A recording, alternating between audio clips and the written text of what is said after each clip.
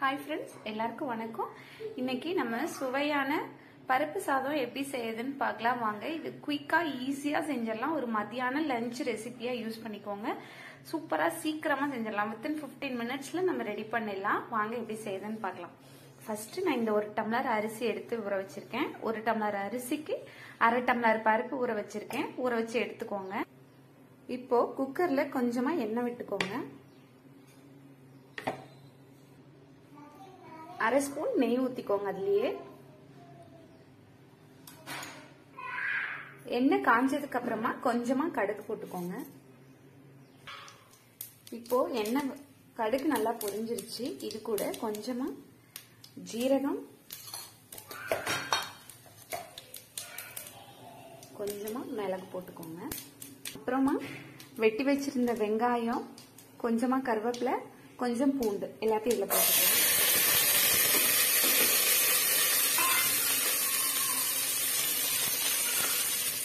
போட்டு நல்லா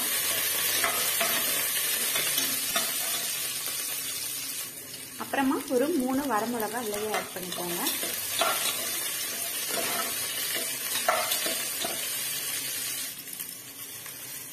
கொஞ்சமா கல்லுப்பு போட்டுக்கலாம். அப்பதான் வந்து வெங்காயம் வந்து சீக்கிரமா வதங்கிடும். வெங்காயம் பாருங்க நல்லா வதங்கிருச்சு. அதுக்கப்புறமா ஒரு சின்ன தக்காளி ஒன்று கட் பண்ணி வச்சிருக்கேன். அதை வந்து இதில் போட்டுக்கலாம். தக்காளி நிறைய ஆட் பண்ணாதீங்க. கம்மியாக மட்டும் ஆட் பண்ணிடுறாங்க போட்டு நல்லா கிளறி விடுங்க.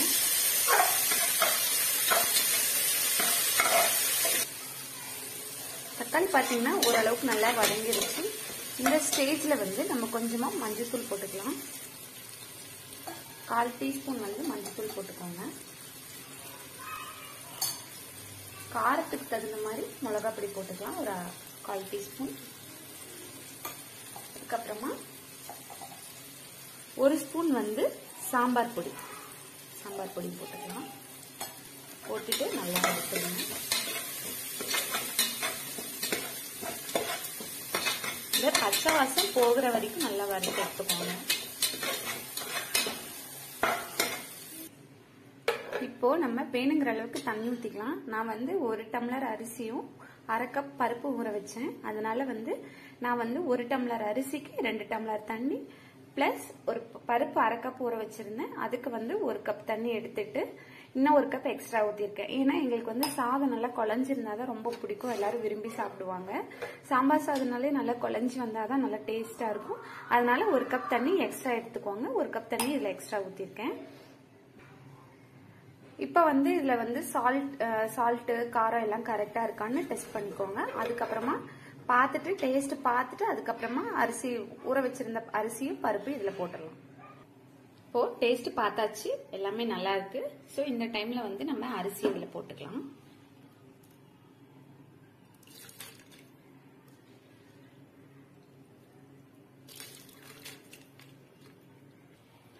இப்போ போட்டிங்கன்னா பார்த்தீங்கன்னா அரிசி போட்டதுக்கு அப்புறமா இந்த மாதிரி ஒரு கொதி வந்ததுக்கு அப்புறமா நம்ம வந்து குக்கர் விசில் வச்சு மூடிக்கலாம். குக்கர் போட்டு மூடிக்கலாம்.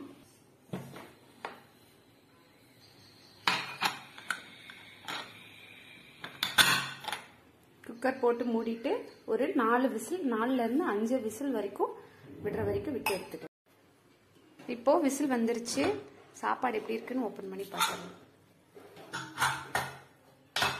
சூப்பரா வந்திருக்கு.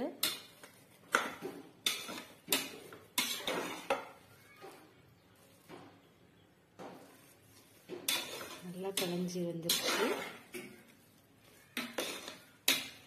இந்த ஸ்டேஜில் நெய் பிடிக்க பிடிக்கிறவங்க ஒரு ஸ்பூன் வந்து இதில் நெய் ஆட் பண்ணிக்கலாம். நெய் ஆட் பண்ணிங்கன்னா நல்லா டேஸ்ட்டாக இருக்கும். ஆட் பண்ணிட்டு கொஞ்சமாக கொத்தமல்லி தலை போட்டுக்கலாம். போட்டுட்டு நல்லா கிண்டி விட்டுக்கோங்க.